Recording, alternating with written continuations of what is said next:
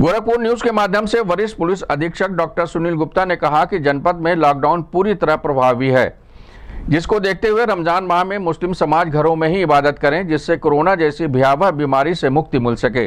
इस संबंध में गोरखपुर न्यूज़ से बात करते हुए एसएसपी डॉक्टर सुनील गुप्ता ने कहा।